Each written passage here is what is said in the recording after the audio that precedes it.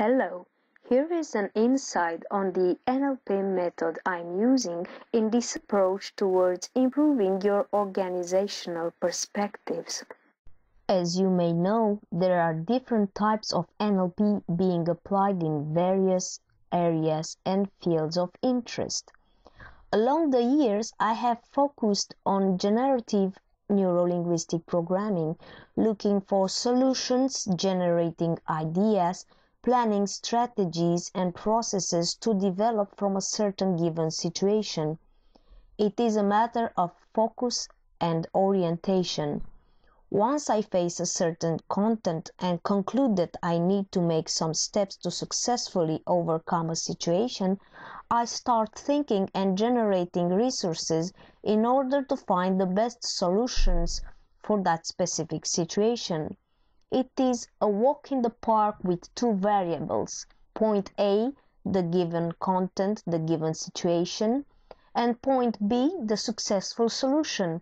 Between these two points, I generate processes for each step I take.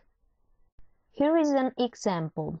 Let's suppose you were a manager for IBM and you would need to implement a new project along with your team. This is the starting point A. You need to reach the final B facing a successful close. What you will generate as a complex solution will be the action plan, the project life cycle, timelines, tasks, delegations, brainstorming sessions, effective workflow, and much more. All of this with your skills and your team abilities and efforts. This is a generative process you already know how to make. Through NLP tools, you will achieve new strategic thinking and generative techniques to help you on your personal and professional path.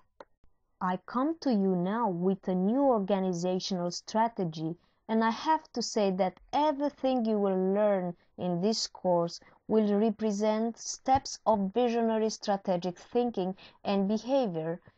As many years I have focused more on trainings, coaching, and workshops, my trainees had the chance to practice every single NLP tool I have offered and they were able to put it into practice after the initiation when the forming period was over.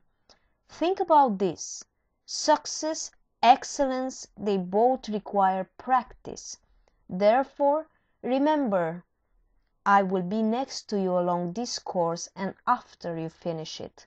Contact me for anything related to this course if you need more resources for one hour coaching through Skype and address your concerns and feedback. My objective is to give you an exceptional set of NLP generative resources you can use for your development.